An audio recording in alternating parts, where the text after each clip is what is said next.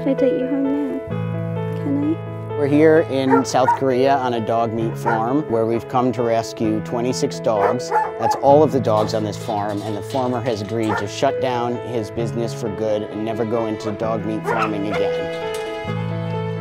On this farm we have dogs that range from giant mastiff sized dogs to these Jindo style dogs all the way down to little dogs like this one and this is what we see typically on many of the dog meat farms is it's just sort of an opportunistic uh, industry where they will take any discarded or unwanted dog.